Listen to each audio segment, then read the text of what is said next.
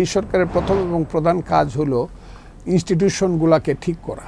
তবে আমি মনে করি সবার মতামত নিয়ে একটা নির্বাচন কমিশন, সঠিক নির্বাচন কমিশন হওয়া দরকার। আমলাতন্ত্র হইল, আমলা যারা, তাদের সারা জীবনের কাজটা হইল yes sir no sir very good sir এইটা হলো তাদের অভ্যাসের অংশ।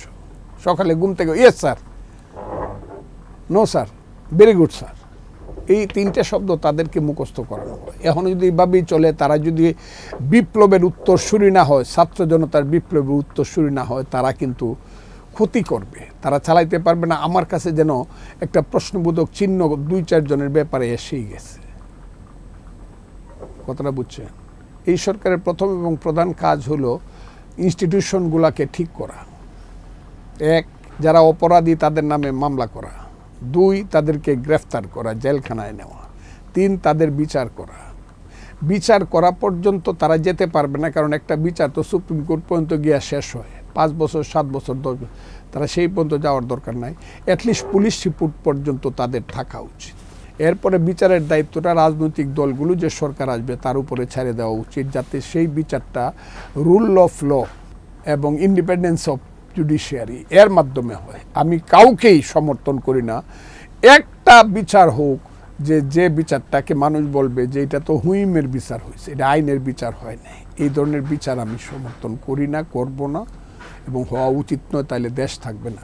যত অপরাধী হোক, সঠিক বিচারের মাধ্যমে তার শাস্তি হোক।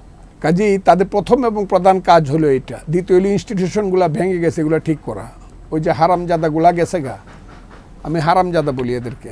এই চোর বাটপার হ্যাঁ লোভী, ক্ষমতা লোভী ক্ষমতা ধর এই যে অমানুষ, নরপশু, নরাধম, নির্বাচন কমিশন চলে গেছে, সবার মতামত নিয়ে, সেই মতামতটা সবার কীভাবে হবে আমি আরে যদি জিজ্ঞাসা করে তত্ত্বাবধায়ক সরকার, আমি বলব যে এটা হলো সবার মতামত। এখন বলব কেন?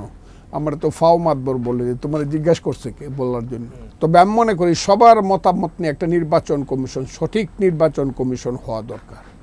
এবং নির্দিষ্ট সময়ে, নির্দিষ্ট সময়টা ওনারাও বুঝে, আমরাও বুঝি। আমি মনে করি নির্দিষ্ট সময়টা জনাব ইউনুস সাহেবও বুঝেন, আসিফ নজরুল সাহেবরাও বুঝেন, অন্যদের কথা নাই বা বললাম। আমরাও কিন্তু বুঝি।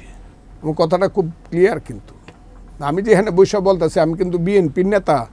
এই কারণে আমার ফজলুর রহমানের বুকটা খুব পাশান না না, আমি বিএনপির নেতা, ছাত্রলীগের প্রেসিডেন্ট ছিলাম। ন এই দেশটা যারা সৃষ্টি করছে, এদের সঙ্গে আমি ছিলাম। পতাকাটা যেখানে বানানো হয়েছে, এখানে আমি ছিলাম।